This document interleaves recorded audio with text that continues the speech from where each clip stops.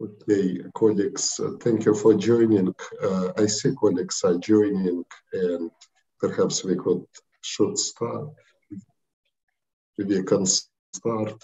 Today we are very pleased to have Professor Patrik Guggenberger of Penn, State University presenting on powerful subvector Anderson Rubin test in linear instrumental variables regression with conditional heteroscedasticity. Thank you, Patrik. Um, Patrik, is it okay if we interrupt during the talk? Oh, uh, please. Yes, please. Um, so it's about, it's about an hour, but we can go longer, of course. Excellent. Thank you so much for, for having me. Thanks for the invitation. So um, Rustam already mentioned the title here. It's joint work with Frank Kleibergen, uh, University of Amsterdam, and Sophocles Mavroeidis from the University of Oxford. This has been um, ongoing work for a very long time. So maybe some of you have seen me or Sophocles or Frank presented paper a long time ago, but we are finally, uh, I think, finishing it up, and that's probably the last time I'm I'm, I'm gonna present it. All right. Uh, so what is uh, the um, objective here? Uh, we are in the context of the linear instrumental variables model, and we are trying to do inference on just one or uh, on a subvector of all the slope coefficients. So many times for applied researchers, they are interested in just one slope coefficient in the presence of additional slope coefficients. And this may be challenging in, in situations where we have weak identification, where the instrumental variables are only weakly correlated with the endogenous regressors. Um, in that case, we know that standard inference procedures like a Wald test or likelihood ratio test are size distorted. And uh, it is challenging to come up with inference procedures that control the size. So here we are interested in robust, powerful, computationally fast inference on a slope coefficient or on a subvector of the uh, of all the slope coefficients. And I want to go through all these uh, uh, boldface uh, um, items here to, to, to explain in more detail what I mean by that. Okay, so by robust, I mean that we want to control the null rejection probability of the hypothesis test uniformly over all the empirically relevant parameter constellations. Now, what, I, what do I mean by empirically relevant? In particular, I mean that we do not want to exclude through assumptions the presence of weak instruments. So again, weak instruments is, is a situation where we find IVs that satisfy the exogeneity condition, but they're only weakly correlated with the endogenous regressors. And it seems that this is quite a pervasive situation in applied research because it is notoriously difficult to find instrumental variables that are at the same time um, exogenous, that is uncorrelated with the error term, and strongly correlated with the endogenous regressors. The workhorse example, I guess, that triggered this uh, literature on weak instruments is the paper by Angrist Krueger 91. They're looking at a wage regression, and they're interested in um, assessing the impact of years of education on, on uh, expected wage. So here we uh, are concerned about unobservability. That would be part of the error term. And one would need to find an IV that is uncorrelated with uh, ability, but correlated with years of education. And you can play around in your mind with, with uh, variables that are supposed to satisfy these two requirements, and it becomes very, very tricky. So what Angrist and Krueger um, propose in their 91 paper is quarter of birth of the worker, which sounds at first like a very weird concept, but it has to do with very particular schooling laws in the United States. And it turns out that there is correlation or non-zero correlation uh, between quarter of birth and years of education, but it only occurs through the subset of high school dropouts. So it is an IV, okay? Uh, one can make a case that it's uh, an exogenous variable, but the correlation with the with years of education is very, very small because it only happens through a very small subset, namely of the high school dropouts. So we, we don't want to exclude the possibility of weak instruments in our parameter space. As I already mentioned, in the presence of IVs, inference becomes much harder to find tests that control the size or the asymptotic size. We know that uh, weak instruments have, have an adverse effect on inference and estimation. And there's a long literature now that dates back to at least uh, Phillips 89. Uh, we know that classical tests over-reject the true null hypothesis. For example, Dufour shows that uh, if you don't impose any restrictions on the weakness of the IVs, then a Wald test in a finite sample context can have null rejection probability arbitrarily close to one for any nominal size that you implement the test. So over rejection becomes severe. And at the same time, if you use the test um, by inversion to construct confidence intervals or confidence regions, the uh, flip side of that is that the coverage probability of that uh, confidence interval could be as close to zero um, as you like. Okay, so we don't want to exclude weak instruments from our parameter space. Secondly, we um, don't want to impose a restriction as strong as conditional homoscedasticity. So we have looked at the same problem previously in a, in a paper published in, uh, in QE in 2019. That's a paper that I will refer to as uh, GKM from now on. In that work, we assumed conditional homoscedasticity and proposed subvector inference procedures. Um, here, the, the incremental contribution of this paper is that we want to drop the assumption of conditional homoscedasticity. And we'll do that in two steps. First, we will introduce a, an inference procedure that works under so-called Kronecker product structure for a certain variance covariance matrix. I'll explain later exactly what that is. It just means that the variance covariance matrix factors in a certain product of two matrices. Um, and then with this intermediate step, finally, we'll, we'll drop the um, any restriction on the variance matrix from our parameter space and we allow for arbitrary forms of conditional heteroscedasticity. Okay, so the, the two main items that we don't want to uh, impose restrictions on is weak instruments and um, any restriction on the variance covariance matrix in terms of homoscedasticity. Um, second bullet point was uh, is about power. So conditional on the test controlling size, we, we want it to have good overall power properties. So let me say, uh, talk a little bit about the history of, um, so we, we, are using the uh, a version of the Anderson-Rubin test, subvector test as our test statistic.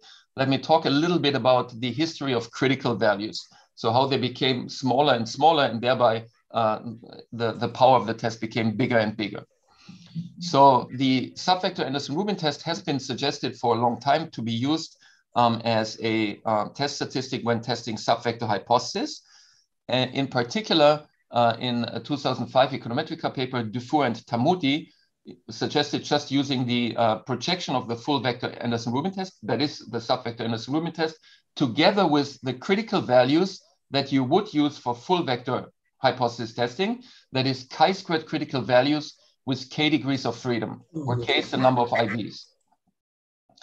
Then we had a paper uh, in 2012 in Econometrica where we show that there is a Pareto improvement. You can actually use, you, get a, you can get away with using chi-squared critical values with k minus mw degrees of freedom, where mw is the dimension of the structural parameter vector uh, that is not the part of the structural parameter vector that is not under test, and you still control the asymptotic size. So rather than using those critical values that were suggested in Dufour and Taamouti, you can uh, get away with smaller critical values and still control the asymptotic size.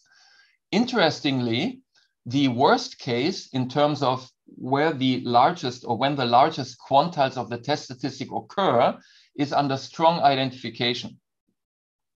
Okay, so under weak identification, it turns out that the uh, quantiles of the test statistic are actually smaller, which suggests that if we knew the degree of the strength or weakness of identification, we could get away with even smaller critical values, some sort of data dependent critical values that adjust to the strength or weakness of identification.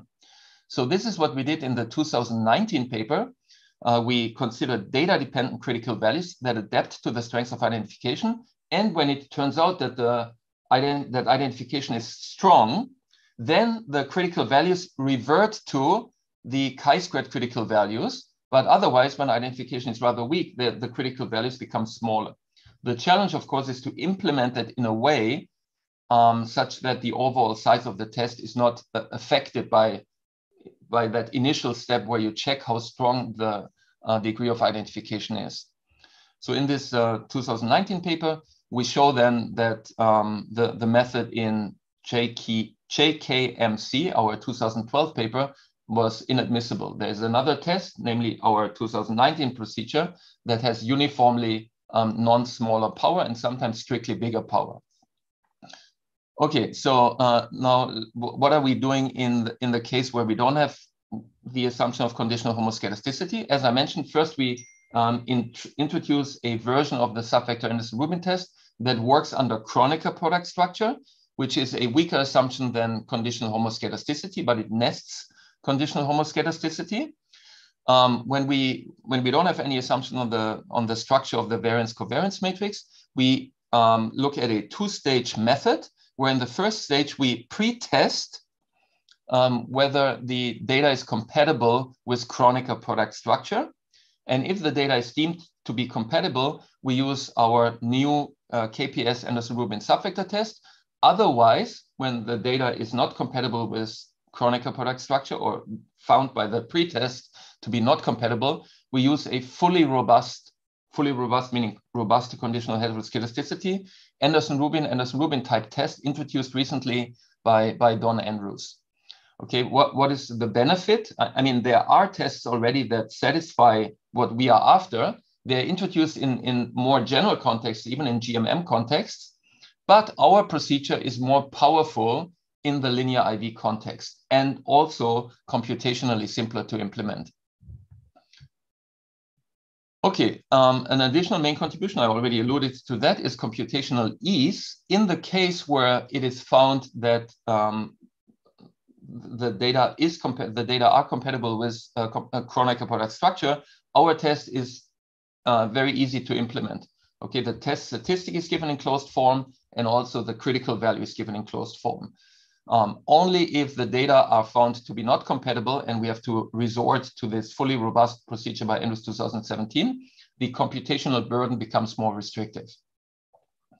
Um, there is a large literature on robust inference for the full parameter vector. Okay, probably most of you have, have seen papers by Kleibergen in 2002, um, conditional likelihood ratio test by Moreira. But as I mentioned already, it, uh, the um, the move from full vector inference to sub-vector inference is challenging because now you have additional nuisance parameters under the null, namely the structural parameters um, that are not under test. And this is a very relevant topic, as I mentioned already. Many times you have uh, several endogenous regressors, but you are only interested in doing inference on the slope coefficient of one. Or also you could have a setup where you are interested in the slope coefficient of an exogenous regressor in the presence of other um, endogenous regressors.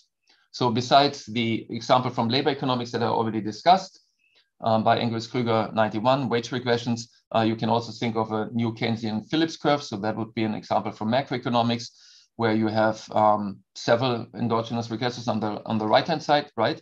You have uh, inflation expectations and output gap or labor share, and you are interested maybe only in the coefficient, in, in one of the slope coefficients. Um, there is a closely related project, uh, another paper with uh, Frank and, and uh, Sophocles that actually now was accepted in Journal of Econometrics, where we suggest an uh, uh, a actual hypothesis test um, for Kronecker product structure. I'll come back to that paper later on if I have time. All right, so here is um, the outline of the presentation today. That what, what I did so far was the introduction and a motivation, I hope. I first will have to review our QE paper, the 2019 paper.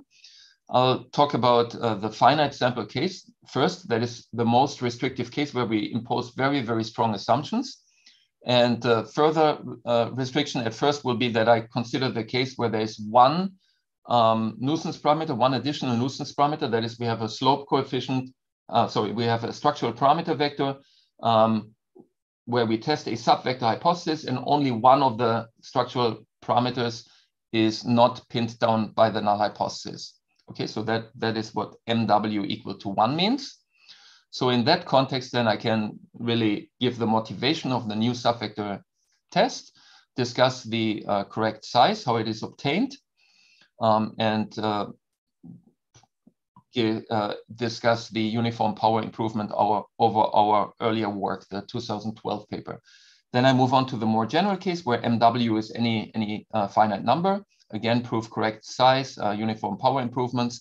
Then I move on to the asymptotic case where we drop the very strong um, setup, uh, the strongest, uh, the strong assumptions imposed in the finite sample case.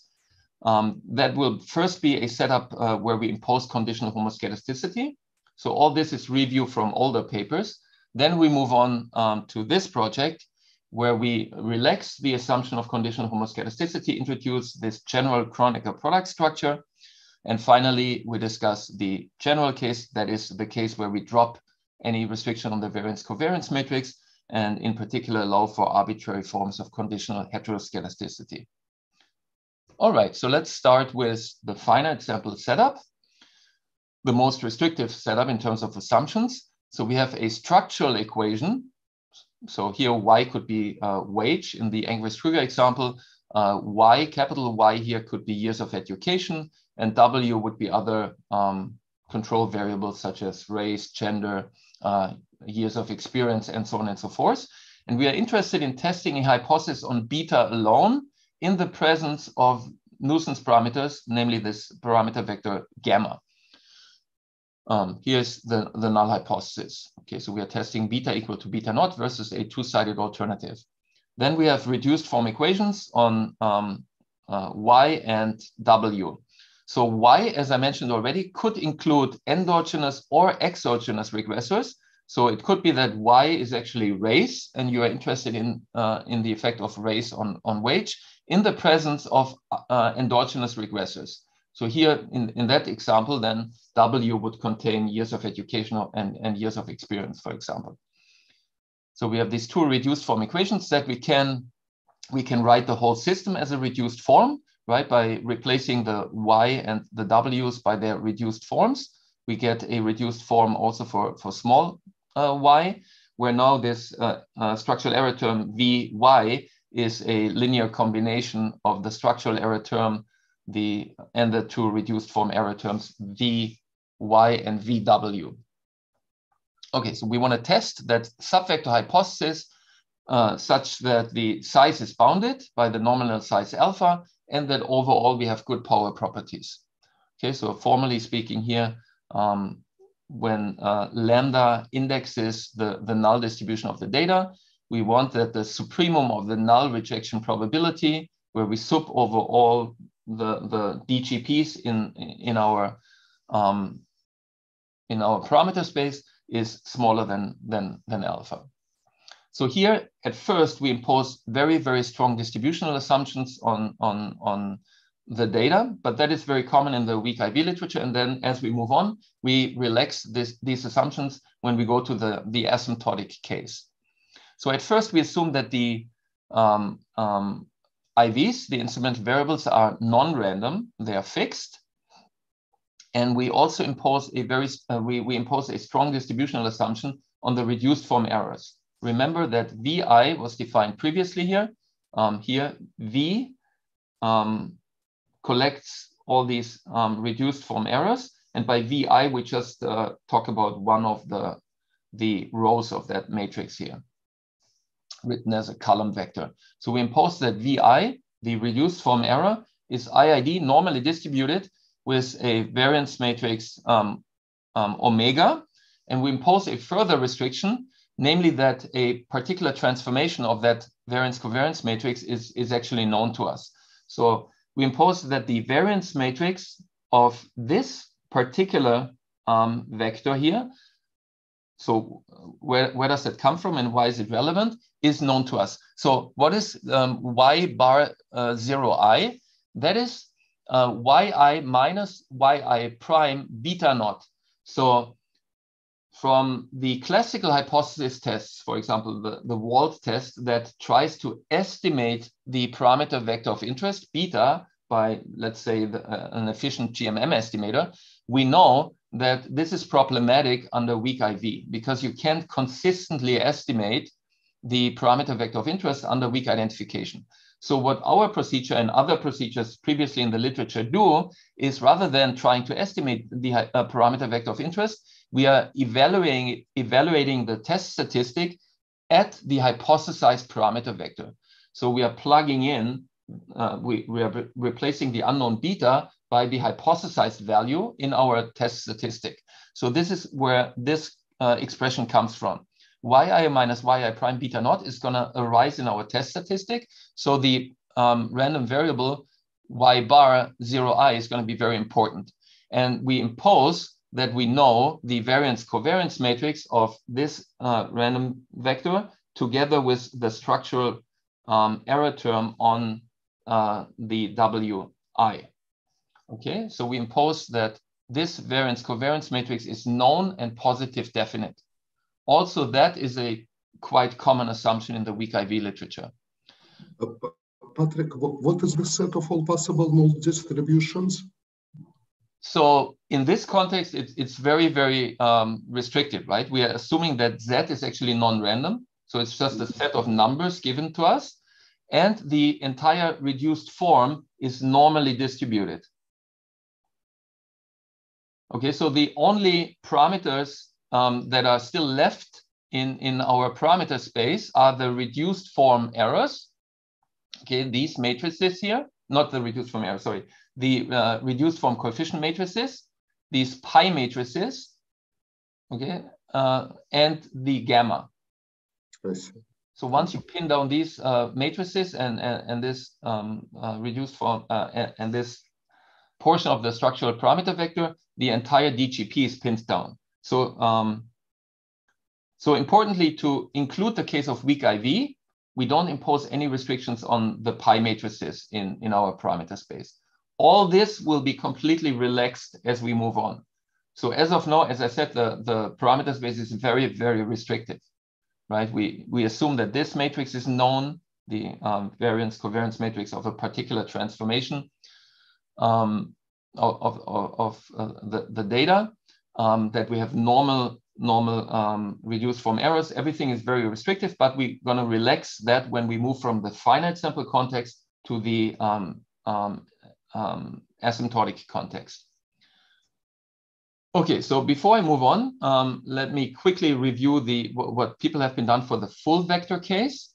Okay, they are so full vector case means that the null hypothesis now also pins down uh, values for gamma. So in that context, uh, several robust methods have been introduced, some dating back uh, 70 years, the Anderson-Rubin test. And then given that the Anderson-Rubin test has relatively poor uh, power properties in over-identified uh, situations. The, a large literature was triggered in, in, in the early 2000s and um, with many, many contributions. And we have some optimality uh, properties um, derived now. Um, for example, the paper by Andrews, Moreira, and Stock in Econometrica 2006 suggests that the conditional likelihood ratio test by Moreira should be used um, they first um, restrict the class of tests that can be used to um, similar tests that satisfy certain invariance properties. Then they derive a two-sided um, um, power envelope, and they show that the power of the CLR test gets relatively close to, the, to this power envelope. Okay, the, the, there have been some uh, additional insights uh, later on by Andrews, Marmer, and Yu uh, that that show that the, the test doesn't really get that close to the power envelope. Um, but in an overall sense, um, I think it is agreed on in the literature that the CLR test by Moreira is the procedure to, to be used for, for full vector inference under certain restrictions. Uh, Chernozhukov, Hansen, and Jansson, they show that the uh, Anderson-Rubin test, even though it has rel relatively poor power properties in over-identified situations, uh, cannot be uniformly dominated. So it is actually an admissible test. Um, okay, so I'm going to skip this. Um, so it is not a bad test to, to start off with. When, when you look at subvector in inference, it is, after all, uh, um, an, an, an admissible test. So once you have a robust test for full vector inference, there are several things you can always do for subvector inference. So first of all, projection is one way where you just take the infimum of the full vector test statistic, where infimum means that you take the infimum of the test statistic over, in our context, gamma. Okay, so you, you inf over the nuisance parameter. Um, and then you combine the, this test statistic, the inf of the full vector test statistic, you combine it with the critical values you would use for full vector inference. This turns out to be in generally computationally hard to, could be hard to find the infimum of the test statistic. And oftentimes it's also uh, very, very conservative, in particular when gamma, in our context, is of high, relatively high dimension. In our context, it turns out to be not computationally hard because the inf of the test statistic is just the test statistic evaluated at the, at the LIML estimator. So it is actually given in closed form.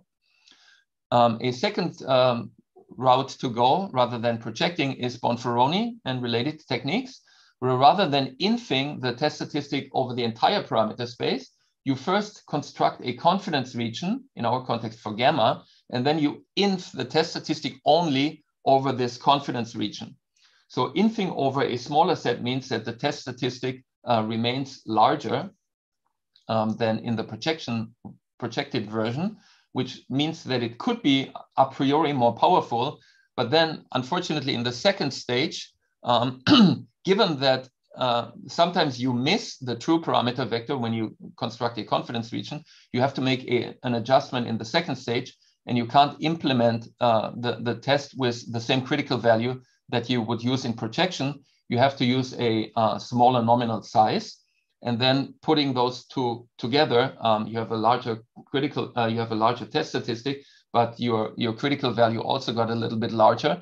It is not clear what the power ranking is between projection and Bonferroni. And of course, uh, we're talking about computational effort, it may even be harder because you have to find the info of the test statistic over a potentially weirdly shaped confidence region. Um, I should mention that subvector procedures have also been uh, looked at in more general context than the linear IV, right? I already mentioned Andrews 2017, but there has been a relatively long list of papers that derive subvector procedures in GMM context, so uh, nesting our linear IV model.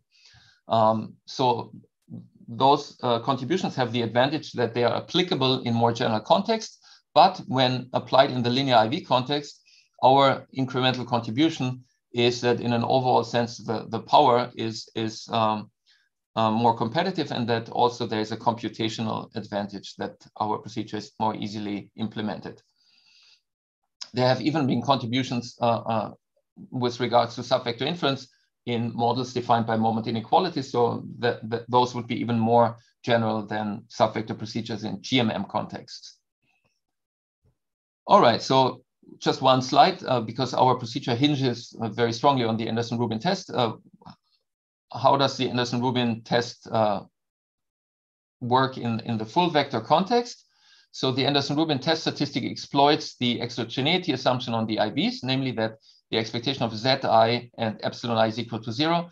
The Anderson-Rubin test statistic is simply a, um, a quadratic form in the sample analog of this expectation.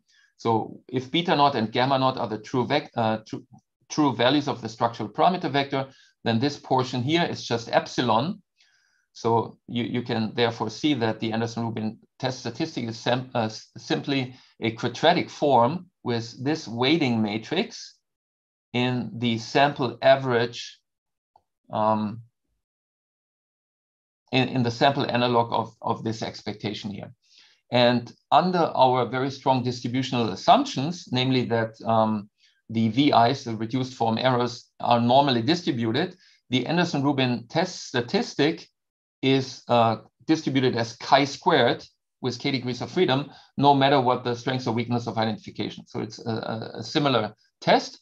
And comparing the test statistic to chi-squared critical values with one minus alpha degrees, uh, with k degrees of freedom, leads to a test that has null rejection probability equal to alpha.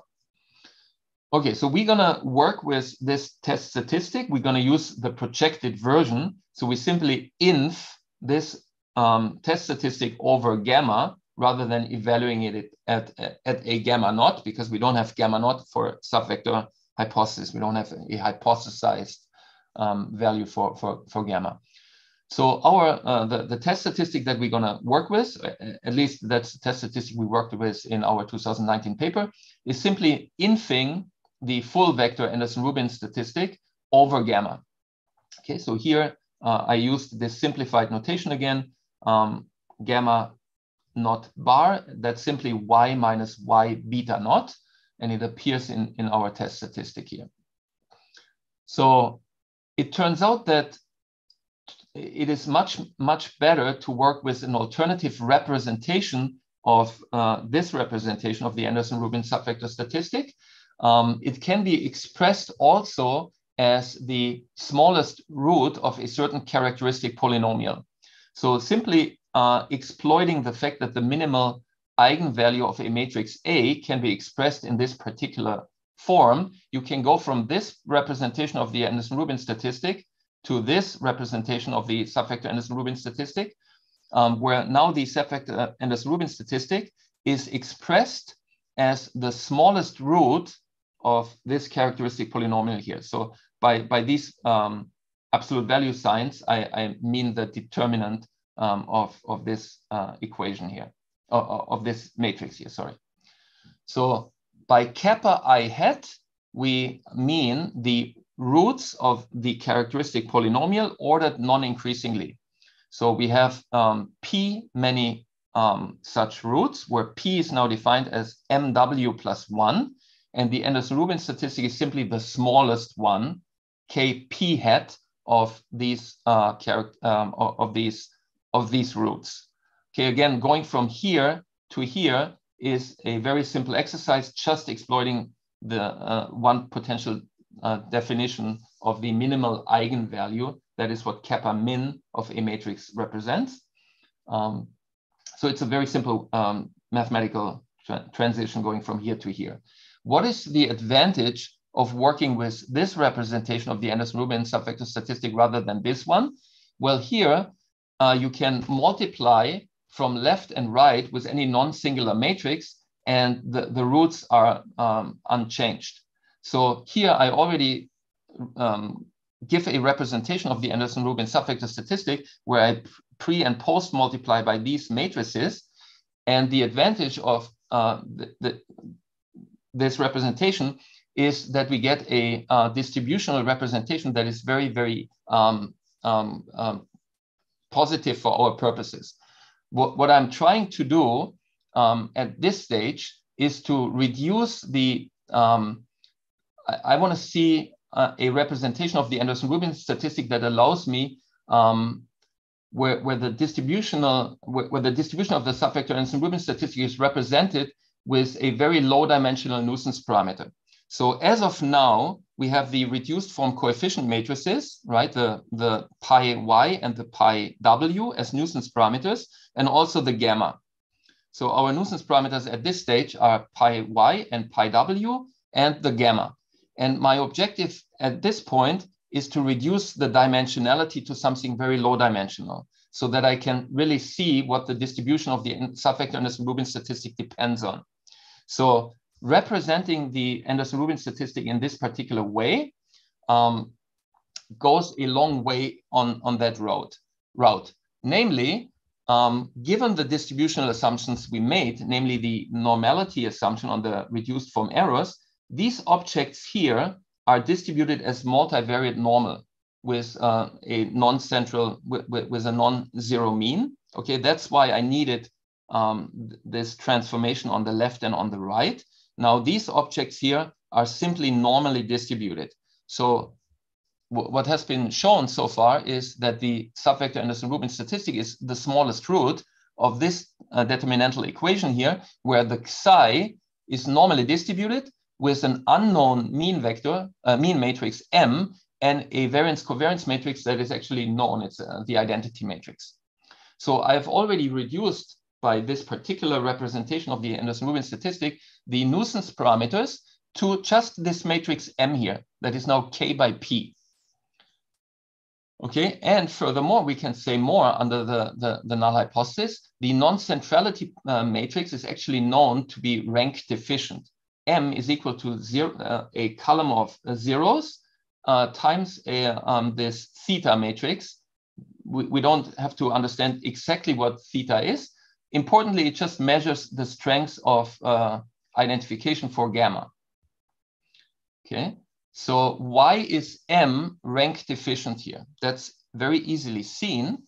So going back to the determinantal, um, uh, to, the, to the characteristic polynomial. So under the null hypothesis, beta naught is the true parameter, right? So y minus y beta naught is nothing else but W gamma plus epsilon.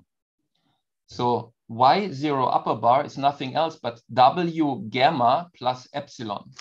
Okay, so let's see that. W gamma plus epsilon.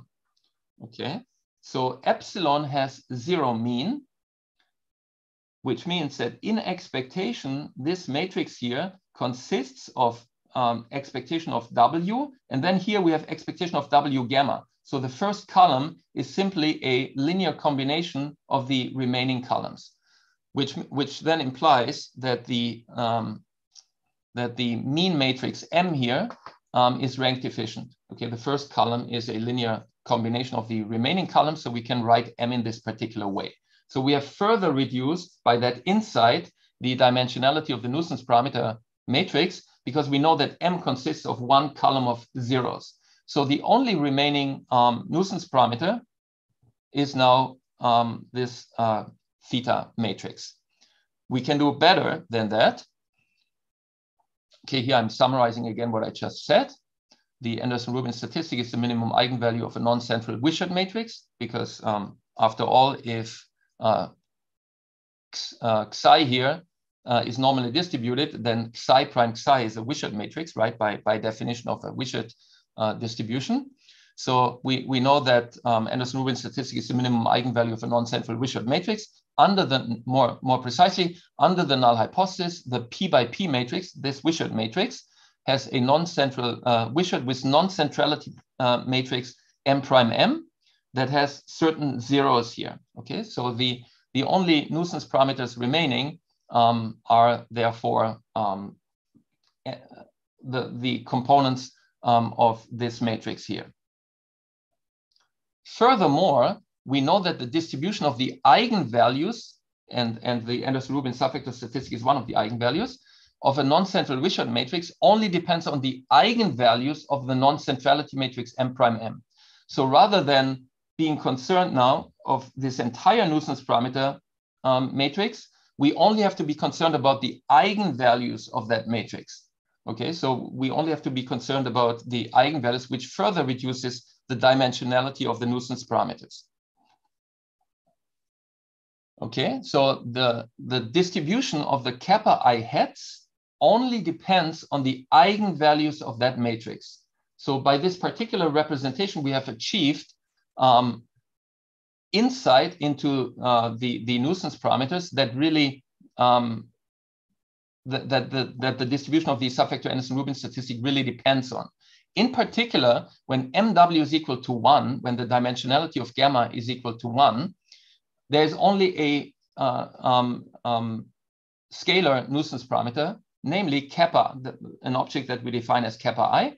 That is um, be, be, because in that case, this matrix is scalar.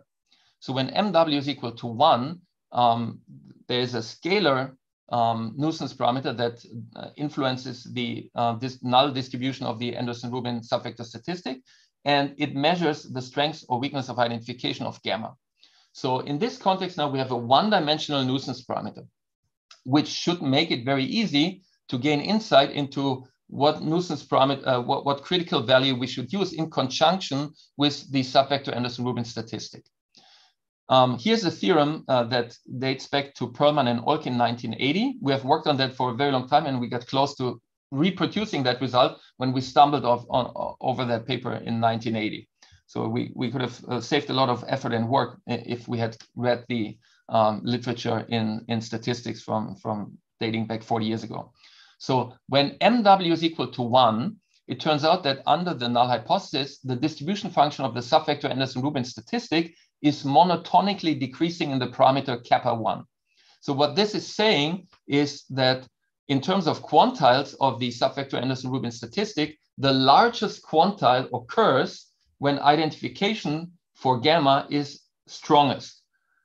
Again, kappa 1 measures the strength or weakness of identification for gamma. As kappa 1 increases, the quantiles of the subvector Anderson-Rubin statistic become larger.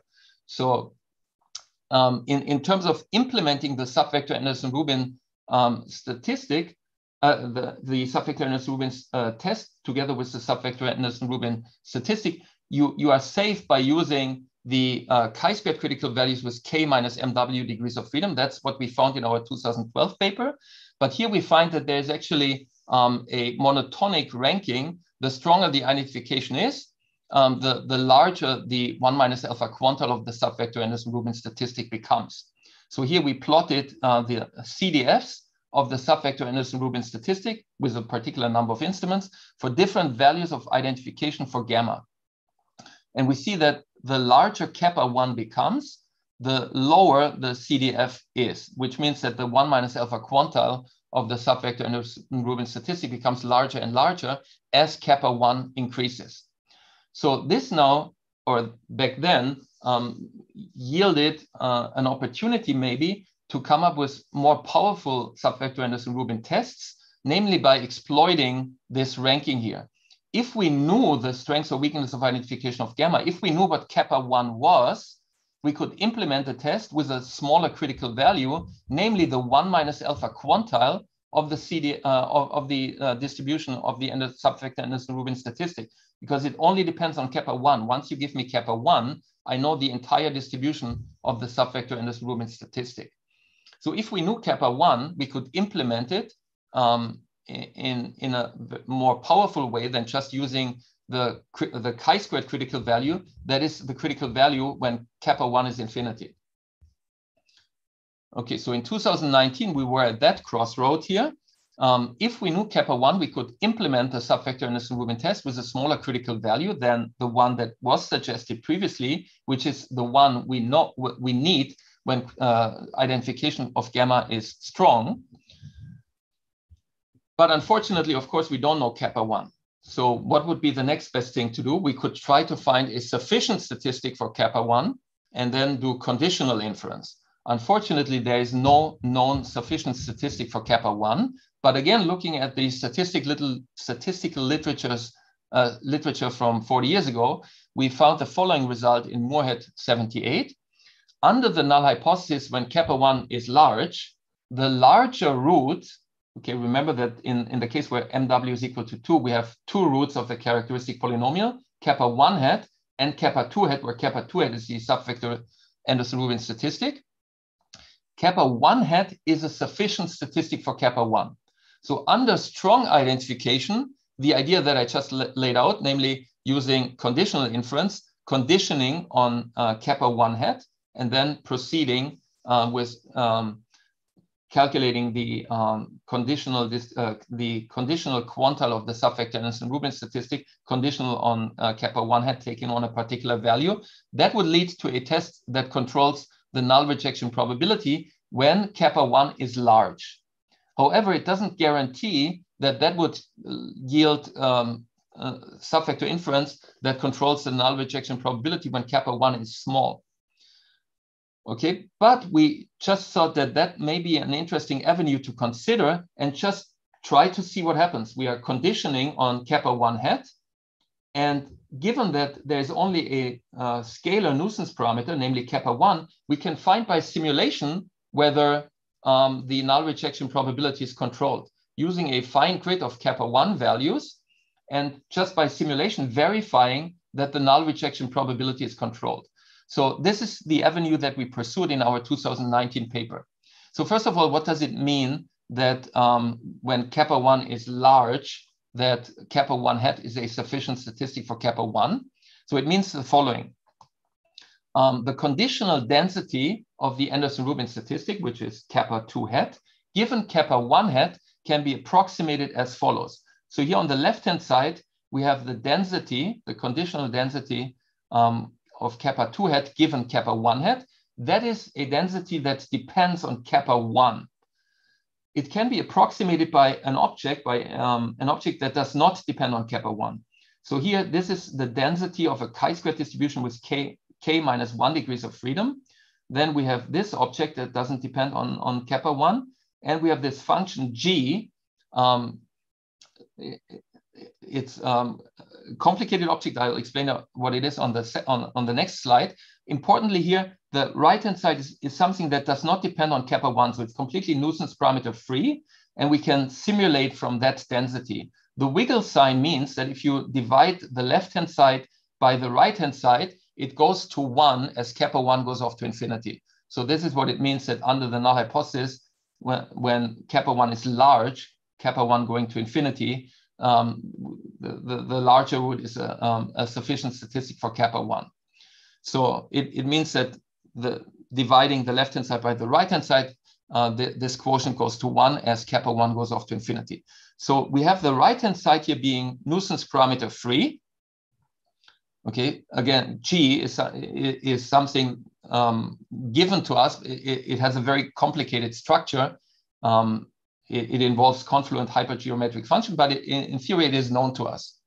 So from this representation or from this result in Moore 1978, we thought, okay, let's try what happens when we condition when we do conditional inference, conditional on kappa one hat.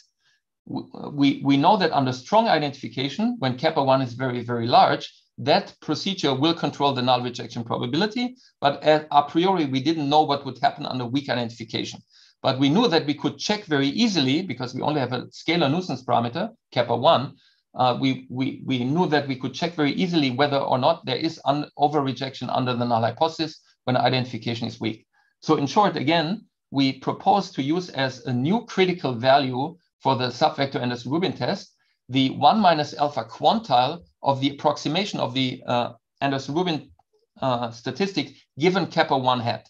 So we are simulating critical values, one minus alpha quantiles from this approximation here, from that density.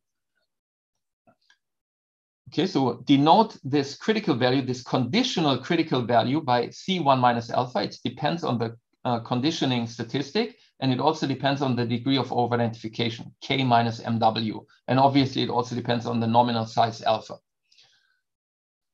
So the conditional quantiles can be compu computed by numerical integration, right? We have a density, we can compute the one minus alpha quantiles. Uh, the conditional critical values can be tabulated, and we, do, we did so in our 2019 paper. That makes for a very easy for applied researchers implementation of the new test, because both the test statistic, the subvector Rubin statistic, and also the critical values are given to the applied researcher. Uh, it turns out that the, as I discussed, that the um, critical values are increasing in the condition, conditioning statistic kappa 1 hat, and they are converging to the critical values that, that we used in our 2012 paper. And then, so uh, the, the procedure, uh, our, our um, research project could have stopped right here if we had found that with these critical values, we get over rejection under the null when identification is weak. But it turns out that using these critical values, the size is actually controlled. So over a very fine grid of kappa one values, we simulated what the null rejection probability is of that new test. And it turns out that the test is uh, controls the size.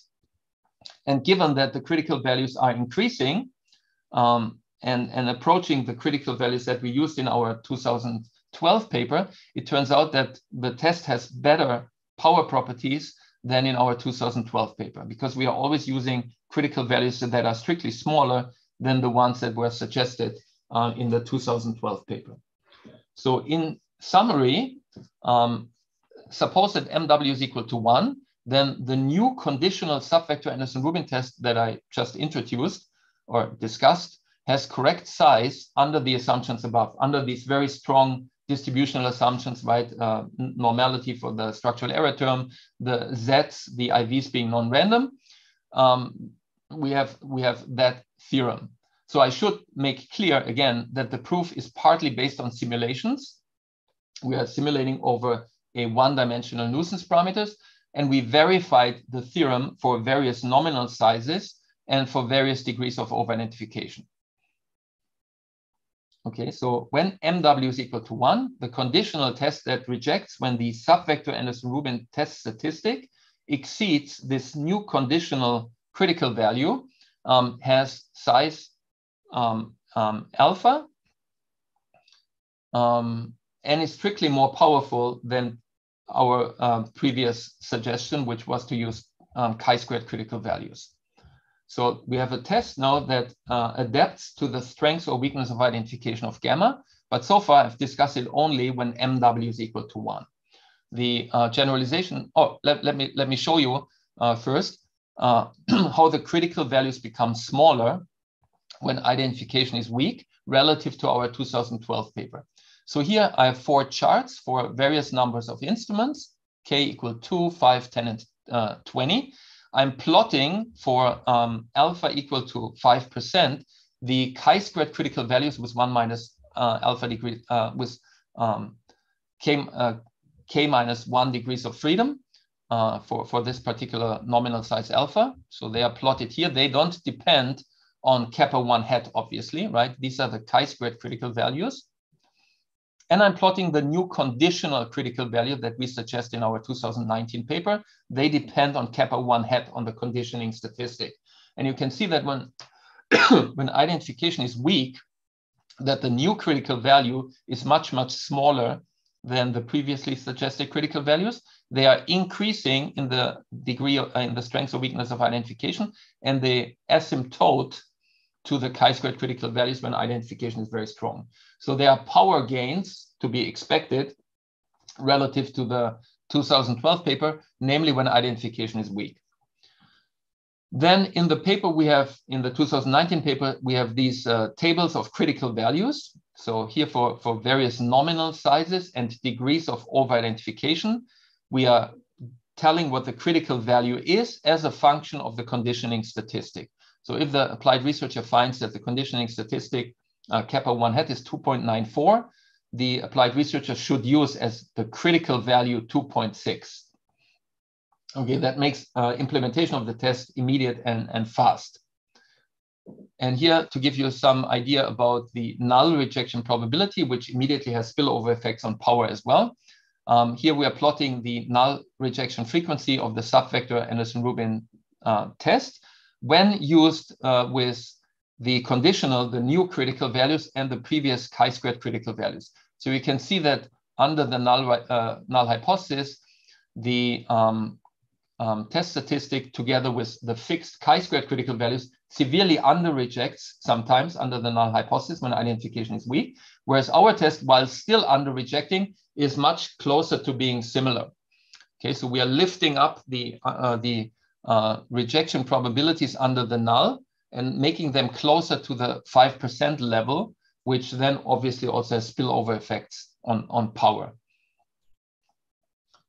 Okay, so what to do when MW is, is, is bigger than one? Now, when MW is bigger than one, then this matrix here, um, psi prime psi, is now of dimension um, um, um, MW by MW. Uh, sorry, P by P, where P is MW plus one. So we have more um, eigenvalues in, in, that, in that matrix than before.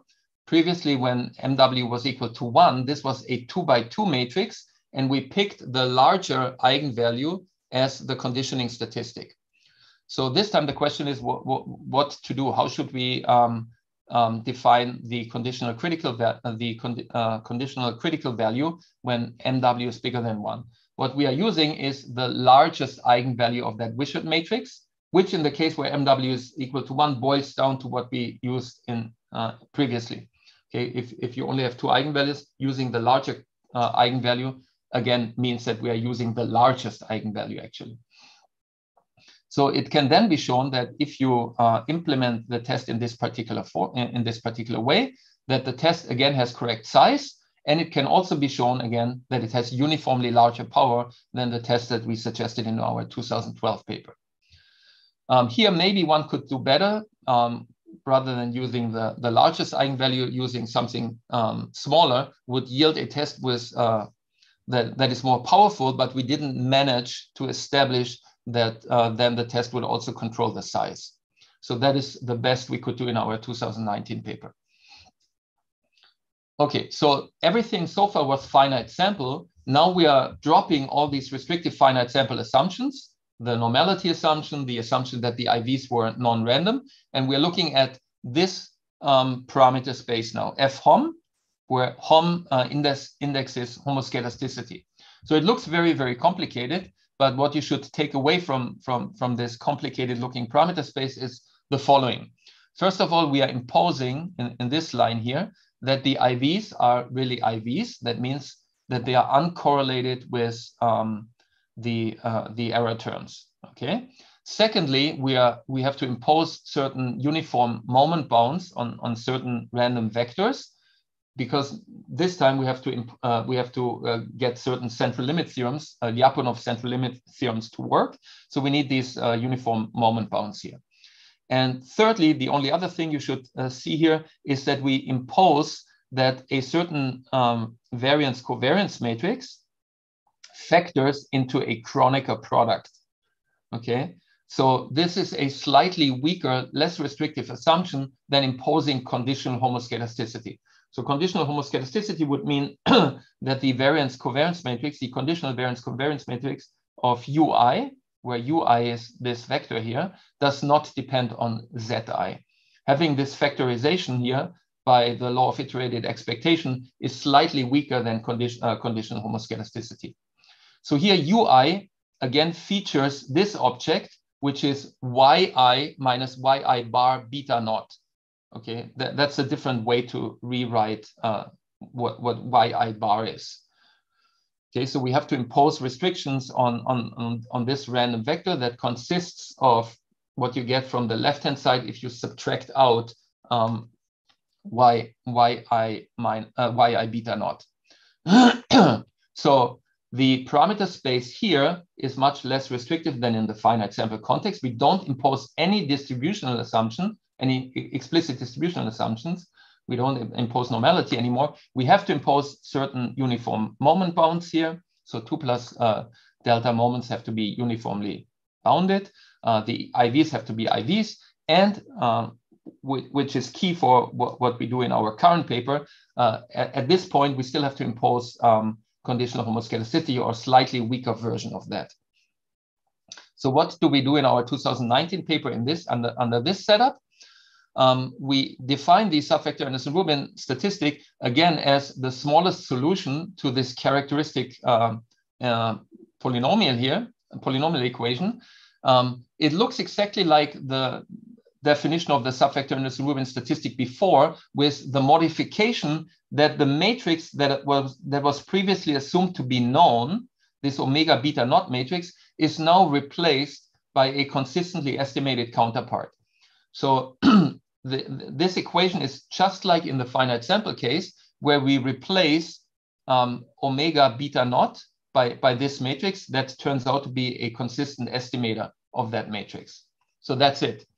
And from, from that point onward, we proceed exactly analogously to the finite sample case.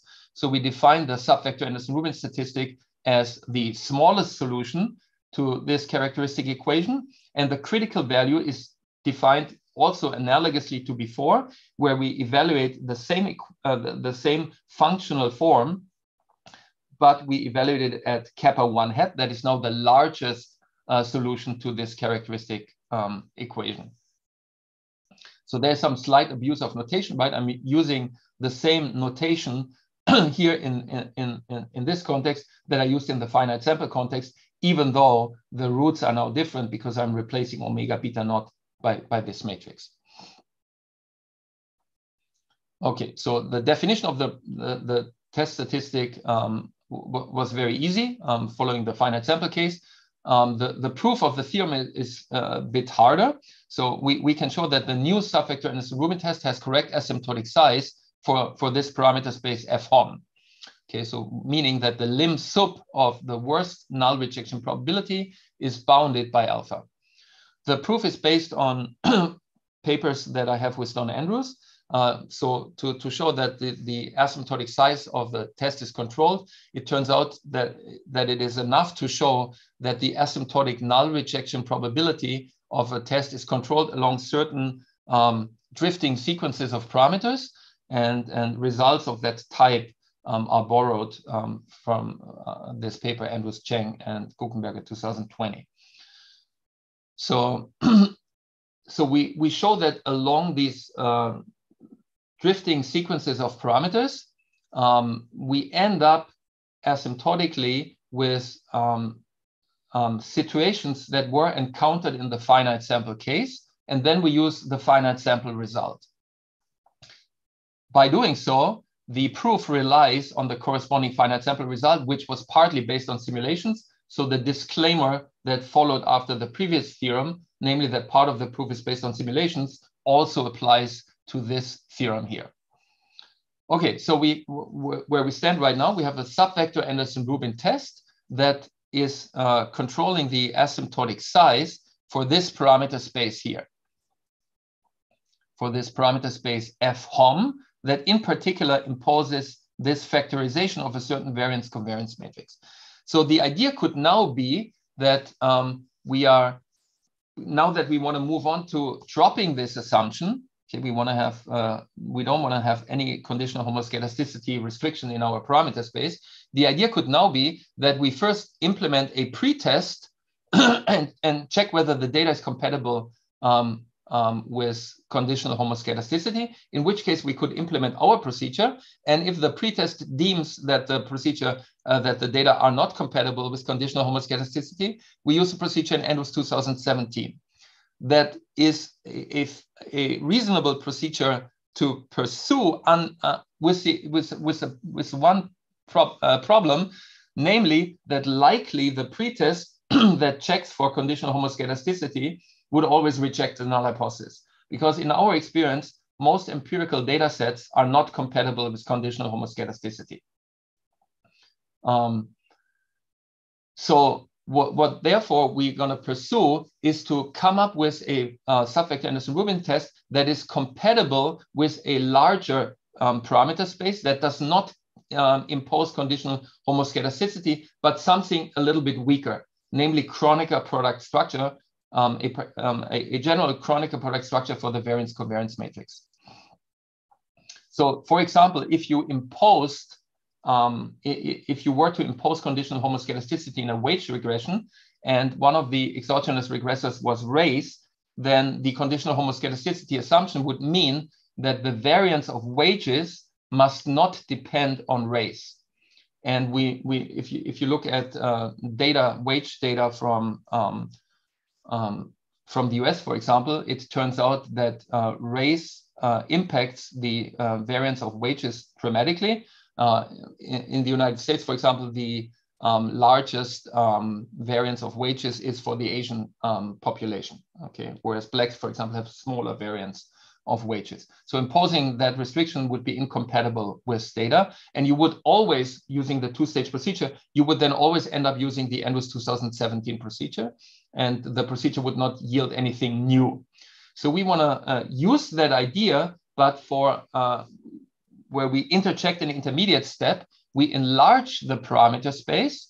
So we call this uh, parameter space uh, KP, FKP, where KP stands for Kronecker product.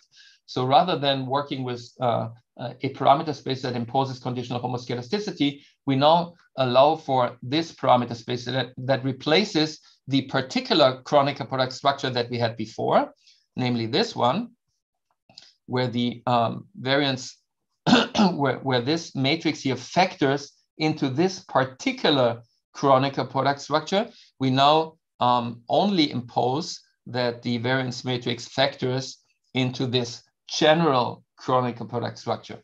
Okay, so where G1 and G2 are uh, some positive definite matrices, where we normalize the upper left element uh, element of G1 to be equal to one. So I, I will show in a second that this um, um, nests conditional homoscedasticity, obviously, because you can pick G1 and G2 as was the, defined in, in fHom, but it also nests several interesting cases of conditional heteroscedasticity. And then ultimately, we want to pursue the following idea. Am I already over time? Um, it's already 8.10, right? I'm already over time. It's fine. But, but, but, you told me I can go until 8.30, right? Okay, so, okay. so, okay, so this covers conditional homoscedasticity, but also cases of conditional heteroscedasticity. And then we want to pursue, we, we first uh, generalize our conditional subvector Anderson-Rubin test to this parameter space. And then to get rid of any assumption or restriction about conditional heteroscedasticity, we will implement a two-stage procedure where we first test for Kronecker product structure. And then if the test rejects, we're going to pursue with uh, the Andrews 2017 test. Otherwise, we use our more powerful test. And we show in our uh, companion paper, the one in Journal of Econometrics that I alluded to earlier, that this restriction here is compatible with um, a substantive amount or a substantive number of empirical papers. We went through um, 120 specifications of recently published papers, and at a 5% nominal size, we could not reject um, we could not reject this, this null hypothesis. Okay, so let, let's proceed by first um, motivating that the general Kronecker product structure um, nests conditional homoscedasticity, but also certain um, um, cases of conditional heteroscedasticity. Here's one example. So start off with a vector epsilon i tilde vw tilde uh, that is zero mean with positive definite variance matrix and independent of zi, and then define the structural and the reduced form error to be a uh, scalar multiple of, of this previously defined matrix here, uh, vector here. So fzi could be, for example, this object here. So then it is very easily shown that um, un under this specification, we have general Kronecker product structure. So here the expectation of that matrix, that's just matrix algebra. We, we can rewrite it like this. To go from here to here, we replace what ui is. Okay, ui is this object. Okay, so we simply plug in what ui is. And now going from here to here, we replace epsilon i and vw, uh, vw by, by this definition here. Okay, so we plug that in. Given that zi is independent of the tilde expressions, we can then factor the expectation, or we can write this expectation as a product of, of, of two expectations, given the independence between zi and the tilde expressions. So we have that this matrix here factors into a uh, Kronecker product, okay? But uh, uh, conditional homoscedasticity is violated because the uh, conditional expectation of ui, ui prime conditional on zi depends on zi. So we have shown that general Kronecker product structure structure um, structure um, nests conditional homoscedasticity, obviously, but also features certain uh, cases of conditional heteroscedasticity or allows for certain um, cases of conditional heteroscedasticity. So, okay, let me try to be a little quicker. So how do we modify our subvector Anderson-Rubin test uh, to the more uh, to the bigger parameter space um, fkp rather than fhom? So we first um, estimate the um, the factors in the Kronecker product structure representation.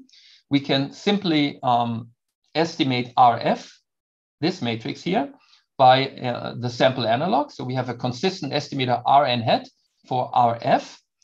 And once you have uh, an, a consistent estimator, we just do brute force. So we are trying to fit the best Kronecker product um, to, to this matrix R Rn hat. And we do this by minimizing this Frobenius norm here over all um, positive definite matrices G1 bar, G2, bar, uh, G, G2 bar, uh, being positive definite symmetric matrices where we normalize the upper left element of G1 bar to be equal to one.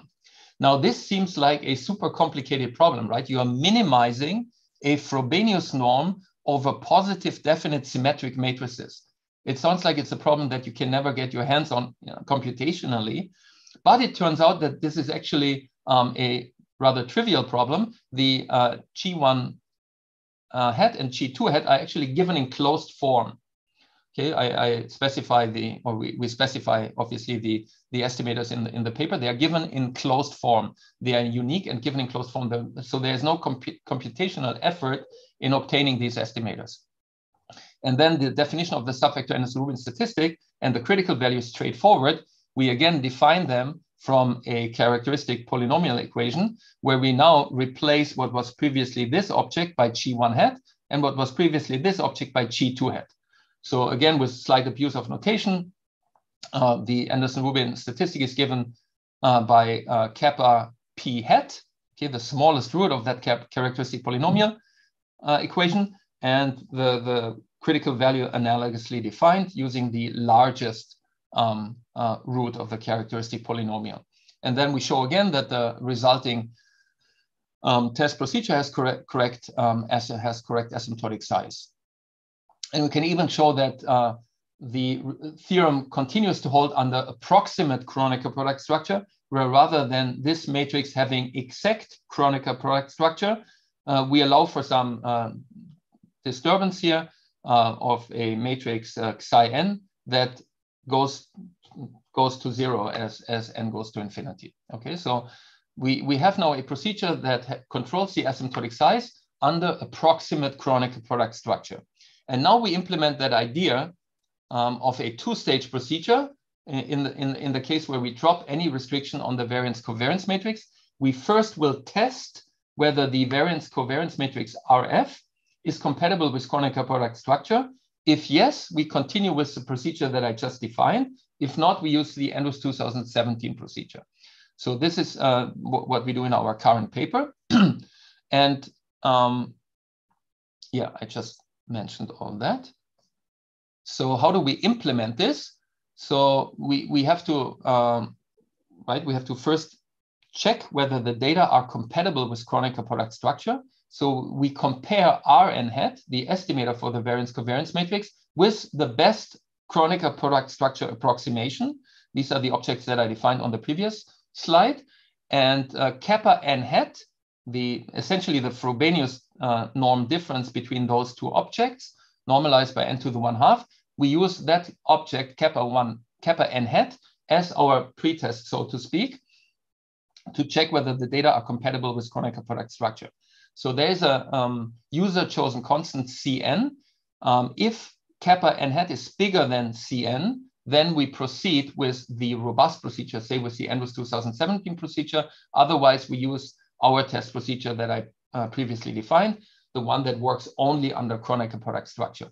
So there is a user chosen constant. Um, for those of you who are in, uh, familiar with the moment inequality literature, that looks very, uh, very much akin to the procedure that Andrews and Soares um, introduced in, in, in their Econometrica 2010 paper to check whether, whether certain moment inequalities are binding or not.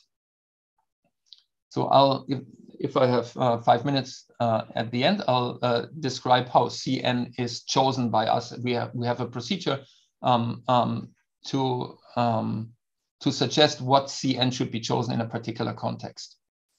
But first getting the theory uh, right. So whenever you do a pre-test, there is a danger, of course, that you screw up the asymptotic size of the two-stage procedure.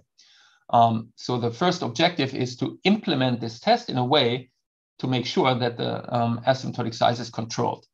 So we assume that the robust test is a test that satisfies these two key restrictions that we then uh, verify uh, for the particular choices uh, of robust that we, we are using.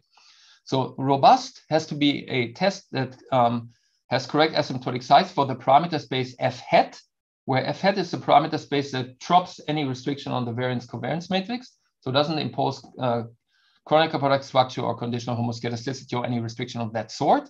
And then we have to assume that the robust procedure is such that the probability of phi robust being small or equal to phi uh, product goes to one under um, approximate Kronecker product structure sequences. So these are drifting DGPs that get um, closer and closer to a Kronecker product structure as the sample size increases. So these are um, to uh, assumption, as I mentioned, that we verify in, our paper for, for, particular for a particular choice of phi robust.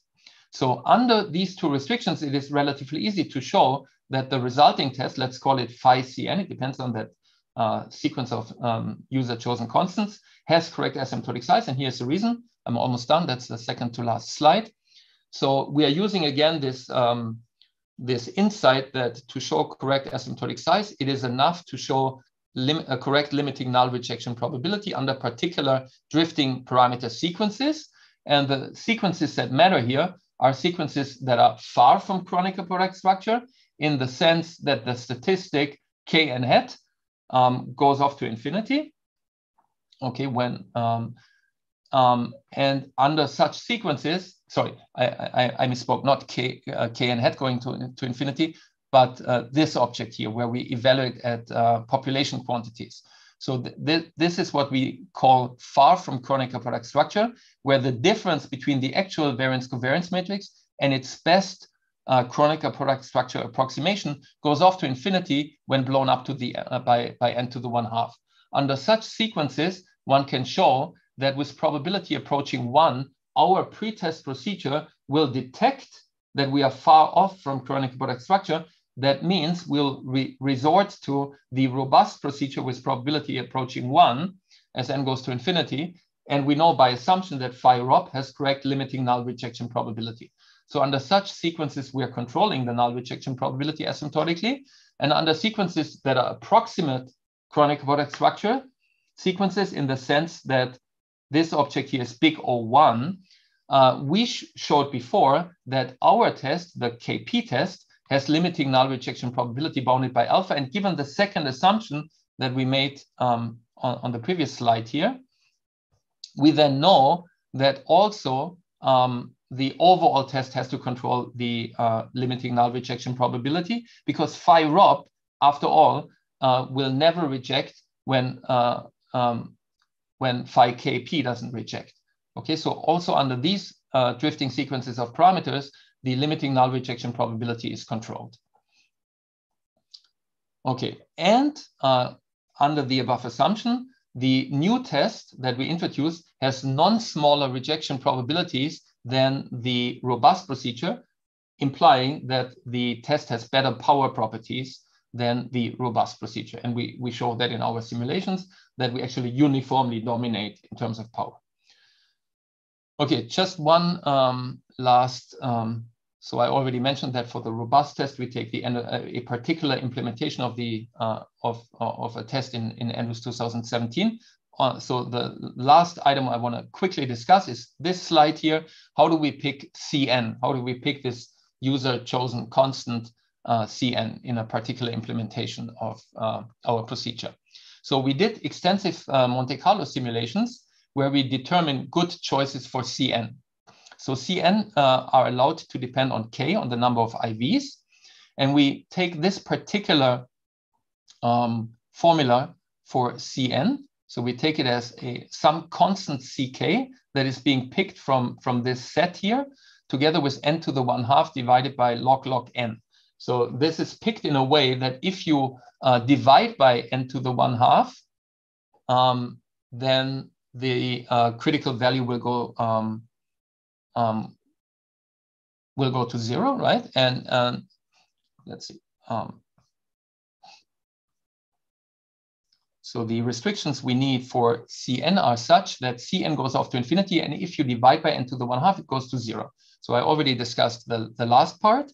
We implement um, the user chosen constant in a way that this is guaranteed. If you divide by n to the one half, then the critical value will go to zero. But without normalization, the Cn will go off to infinity, obviously because n to one half goes to infinity much quicker than ln, ln, ln, n.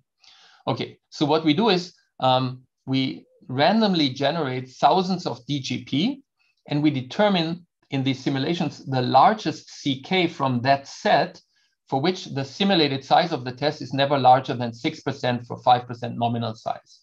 So we are guaranteeing in, um, by, by, by that procedure that the over rejection in finite samples is rather small.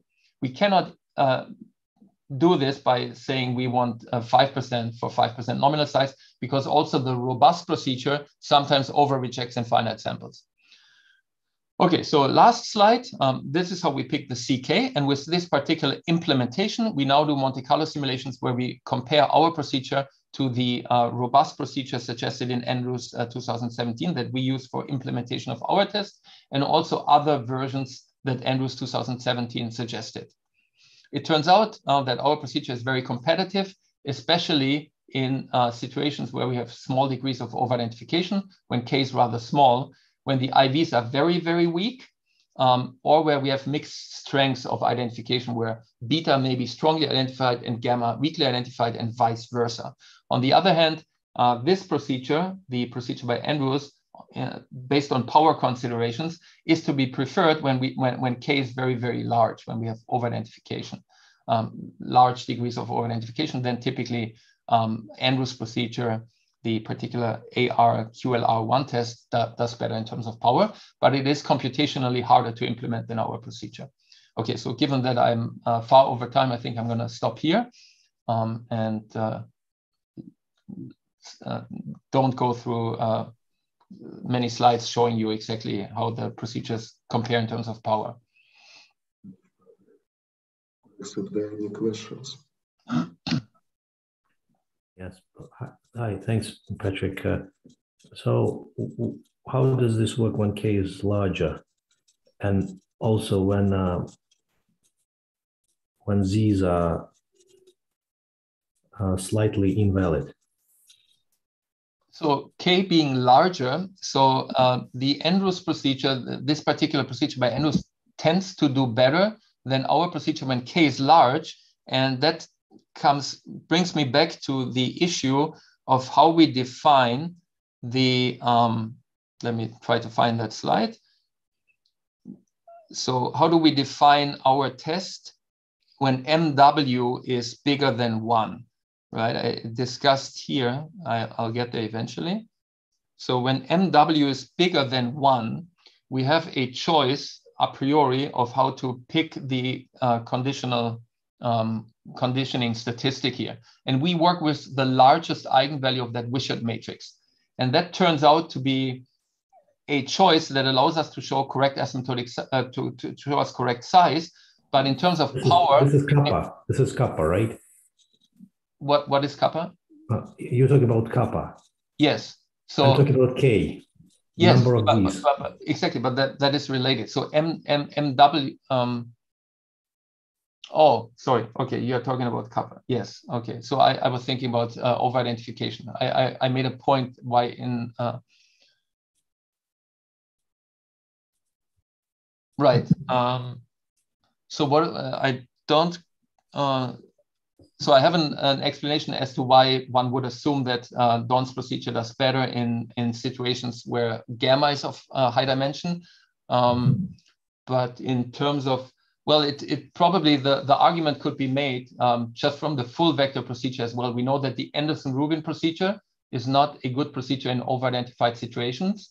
And that spills down to, or spills over to our subvector procedure, given that it uh, is built from the Anderson-Rubin statistic in over-identified situations, we, we, we, we have uh, uh, worse power than procedures that are based on the conditional likelihood ratio test uh, of uh, Moreira and, and Kleibergen, which is a procedure that uh, Andrews uh, uses in, in, in, his implementation.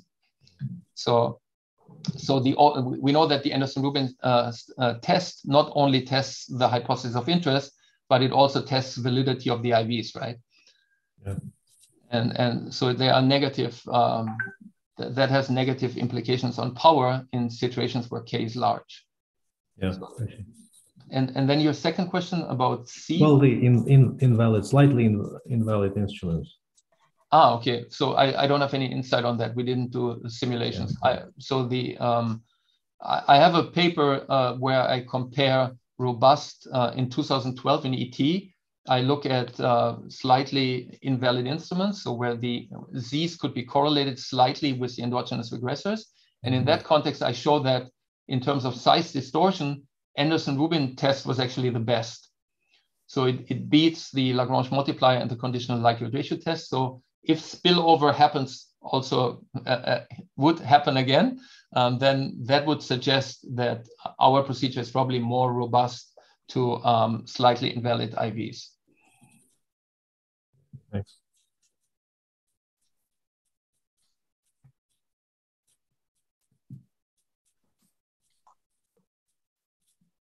Any other questions? Patrik, so essentially all results for normals can be generalized to the case of uh, moment assumptions, second yes. moment. Yeah. yeah. So, so all we need um, as I said, the, uh, the asymptotic size results are always derived under um, by, by showing that the limiting null rejection probability is controlled under drifting sequences of parameters. And when you have these drifting sequences of parameters and you, uh, under these drifting sequences of parameters, we need valid uh, central limit theorems. And we use uh, Lyapunov type central limit theorems, but in order to, uh, for validity of those, we need uh, a certain number of moments being uh, uniformly bounded. Mm-hmm. Thank you. Any other questions? Now, how, how, so just to get a feel of how restrictive that Kronecker structure is. Yeah. Uh, so we, the, the best uh, case we, or the, like a um, primitive, so to speak, um, so a primitive setup would be really this one here. Um, and, and that's the best we could come up with, to be honest. Um, so we, you, you start off with um, IID, zero mean uh, random vector, and then you pre-multiply it by a scalar function of the IVs to get the structural error and the reduced form error.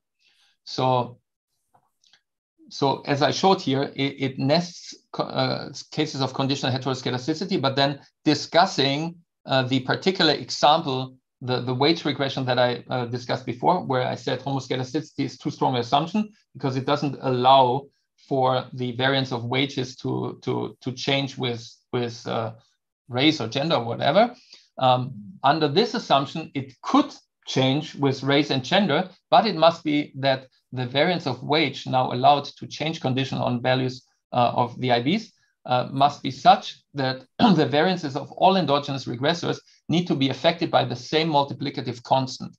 So we have we have dependence now of variances. Um, uh, we, we can allow for uh, variances to depend on Zi, but it must be the same dependence for all the endogenous uh, variables through this particular um, f function. So it is um, still restrictive, but as I mentioned, in our companion paper, we take, uh, I think, 120 specifications of recently published papers, and we apply a, a test of uh, Kronecker, a test for the null of Kronecker product structure. And in 30% of the cases, we did not reject the, the null hypothesis. Now, you could object, of course, and say that it, this may be the case because the test is not very powerful right? Um, not rejecting the null could mean that our test is, is not very good. But in, in power simulations, we find that our test has nice U-shaped uh, form. So, whereas on the other hand, I should uh, add, we virtually always reject conditional homoscedasticity. So using these, uh, I think 120 specifications, I think in 95 or 99% of the cases, we rejected the null of conditional homoscedasticity at the 5% nominal size, but we did not reject in at least 30% of the cases the null of Kronecker product structure.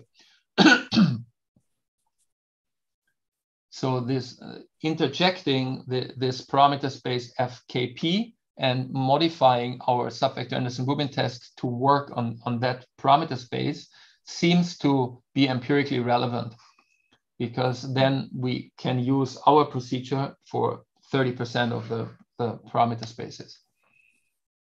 Uh, sorry, for 30% of the empirical applications. Thanks. Any other questions? Patrik, thank you very much for a very interesting talk. Thank you very much for having me, and I look forward to seeing you in, in person soon. Um, yeah, it has been a long time, but hopefully the conference for uh, June Park will will work out and will be an occasion for us to see each other. Thank you very right. much. Thank you very much. you can stop recording. Thank you. Goodbye. Thank you. Bye bye.